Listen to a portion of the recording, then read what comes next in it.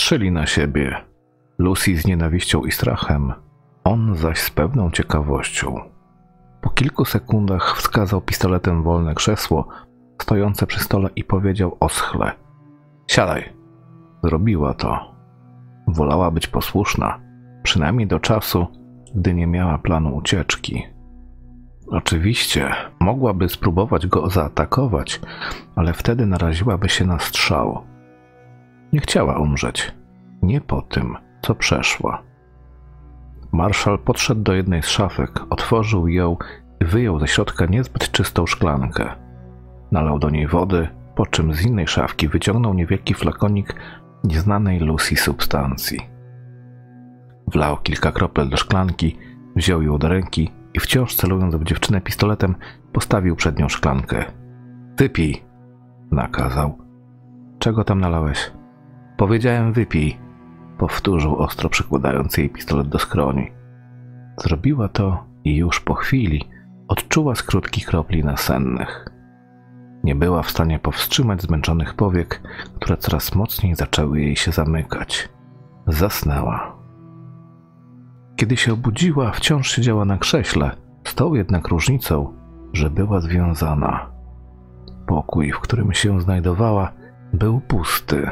Jedyny dźwięk dobywał się z drugiego pomieszczenia ze zamkniętymi drzwiami. Czuła się strasznie, jakby ktoś wywiercił jej dziurę w głowie i nawtykał tam waty. Miała problem ze skupieniem się, kiedy próbowała poskładać informacje do kupy. Po kilku minutach marszal wyszedł z zamkniętego pokoju i popatrzył na Lucy. Gałąź, którą podpierał się wcześniej, zastąpiła profesjonalna kula. Patrzcie państwo, czyżby Lucy w końcu się obudziła? Powiedział, po czym uśmiechnął się. Mam nadzieję, że jesteś w formie, bo mamy dziś dużo do zrobienia. Co takiego? zapytała ospale. Nie spodziewała się pozytywnej odpowiedzi, lecz mimo wszystko wolała wiedzieć, co ją czeka. Pamiętasz tego chłopaka, którego wczoraj podglądałaś? Otóż to jest młody Barney Braid, a raczej trzynasty członek pokolenia rodzicielskiego. Dziś jest jego pierwszy dzień, więc musimy zawieźć go do punktu narodzenia. Mówił wszystko powoli i spokojnie, jakby tłumaczył coś małemu dziecku. Oczywiście będzie potrzebna nam do tego taczka, którą zostawiłaś w obozie Braidów, więc będziemy musieli się po nią wrócić. Pokuśtykał w jej stronę, po czym powiedział: Teraz rozwiążę cię. Spróbuj stawiać jakikolwiek opór, a zostaniesz zastrzelona. Pokazał pistolet trzymany w prawej ręce. Może i nie mam nogi, ale strzelam naprawdę nieźle.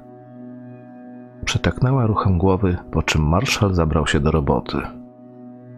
Usiadł na ziemi, oparł się plecami o ścianę i począł rozwiązywać sznury zawiązane na jej kostkach i nadgarstkach.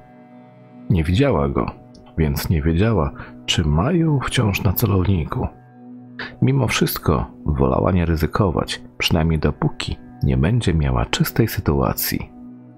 Kiedy liny spadły na ziemię, zaczęła obcierać obolałe nadgarstki. Hola, hola, nie tak szybko, powiedział ostro mężczyzna, podnosząc się i przykładając jej ponownie pistolet do głowy. Nie zapominaj, kto tu teraz rządzi. Zanim cokolwiek zrobisz, masz się mnie o to zapytać, jasne? Jeśli będziesz nieposłuszna, staniesz się takim samym kaleką jak ja. Chyba, że postanowię odebrać ci życie. Czy to jasne? Przytaknęła. Następnie nakazał jej wstać, co wykonała i podszedł do drzwi wyjściowych.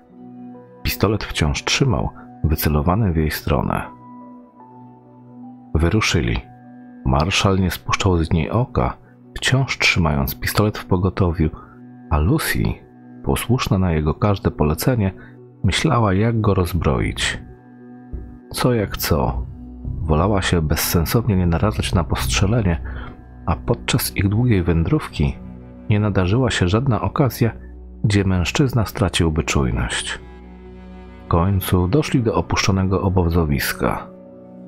Marszal trzymał się z tyłu, gdy zadaniem Lucy było pójść po starą taczkę stojącą obok jednego z namiotów.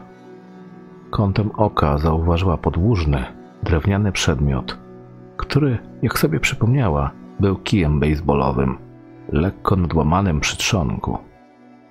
Schyliła się po niego, gdy usłyszała z tyłu. Nie waż się go tnąć, wrzasnął mężczyzna. Jeśli to zrobisz, strzelę. Wstań i podejdź do taczki. Nie mając wyboru, zrobiła to. Już po chwili jechała przed jej oprawcą z powrotem do obozu, raczej bazy wbudowanej w górę.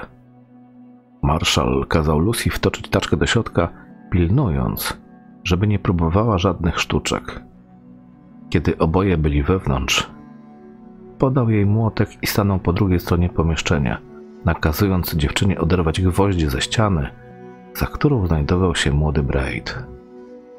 Przez chwilę Lucy zastanawiała się, czy nie rzucić młotkiem w napastnika, ale zrezygnowała z tego, jako iż mogła nie trafić, albo młotek mógłby po prostu odbić się od marszala, który, zdenerwowany, postrzeliłby ją i tyle. Posłusznie odrywała jeden gwóźdź po drugim, a one spadały na podłogę, na której przez chwilę jeszcze się odbijały, zanim upadły na dobre. Kiedy ukryte pomieszczenie zostało odkryte, mężczyzna kazał jej wsadzić zdeformowanego chłopaka do taczki, co zrobiła z mieszanką obrzydzenia, współczucia i strachu. Młody Barney wyglądał naprawdę marnie, pokryty tymi wszystkimi ranami i z nogami, które sprawiały, że na sam ich widok człowieka coś skręcało. Kierując się kolejnymi poleceniami, wytoczyła taczkę z bazy i ostrożnie zjechała nią po górce, po czym zaczekała, aż marszal zejdzie. Nie próbowała uciekać, nie miałoby to sensu, a nawet jeśli nie wiedziała, na ile prawdą było to, że mężczyzna potrafi dobrze strzelać. Jeżeli chciała się stąd wydostać, wolała nie ryzykować. Skierowali się ku trzynastemu punktowi narodzenia. Miejsce to znajdowało się w okolicach, których Lucy dotąd nie znała. Kierowali się w stronę, z których dziewczyna nie potrafiłaby wrócić nawet z pomocą mapy. Las tutaj stawał się gęstszy, a krzaki rosły wyżej. W końcu, po prawie godzinie drogi, marszal nakazał je wyładować taczkę na kompletnie przypadkowym, zdaniem Lucy, kawałku ziemi pomiędzy drzewami i krzewami. Nie widziała w tym miejscu nic szczególnego, jak na punkt narodzenia, nazwany tak przez mężczyznę. Ostrożnie podniosła Braida i ułożyła go na ziemi. Współczuła mu. Była pewna, że za kilka dni prawie na pewno umrze z braku pożywienia i odniesionych ran. Mimo wszystko nie mogła nic na to poradzić. Przynajmniej na razie, dopóki jej głowa była stałym celem pistoletu marszala. Dobra, powiedział. Na dziś już prawie koniec. Teraz odstawimy taczkę pod obóz i wrócimy do wraku twojego samochodu. Chcę coś ci uświadomić. Lucy popatrzyła na niego błagalnie, lecz on tylko się uśmiechnął i machnął pistoletem, nakazując jej iść.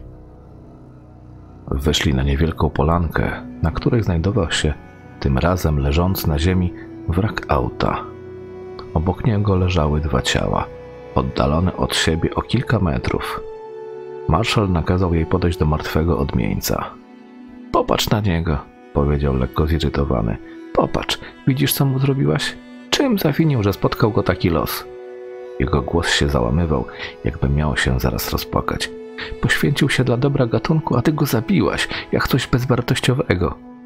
Lucy nic nie mówiła. Stała przed ciałem, odwrócona tyłem do oprawcy. Z jej oczu cienkimi stróżkami popłynęły łzy. To miejsce przywoływało wiele przykrych wspomnień, o których wolałaby zapomnieć. Ale marszal nie miał zamiaru odpuszczać. Przez ciebie gatunek ucierpiał o jednego członka. Wiesz, ile pracy potrzeba, żeby dać tym ludziom lepsze życie? Czy wiesz, ile potrzeba do tego precyzji i uporu? Dzięki mnie ono miało sens, a ty im je zabrałaś, krzyczał rozwścieczony. Sądzisz, że zrobił coś złego jedząc twojego gównianego narzeczonego? Po prostu był głodny do jasnej cholery. Pokuśtykał do rozkładającego się ciała Daniela, podniósł kulę, po czym bezlitośnie wbił mu ją w oczodu. O nim właśnie sądzę, wrzasnął przez łzy. Więc jeśli chcesz naprawić to, co zrobiłaś, to lepiej bądź mi kurwa posłuszna. Lucy rozpłakała się na dobre. Zwłoki Daniela były już wystarczająco sprofanowane, a ten akt brutalności nie był jej wcale potrzebny. Klękła i złożyła głowę w dłoniach. Trwali tak przez kilka sekund, po czym marszal podszedł do niej, przyłożył jej pistolet do głowy i powiedział: Wracamy. Jutro twój wielki dzień.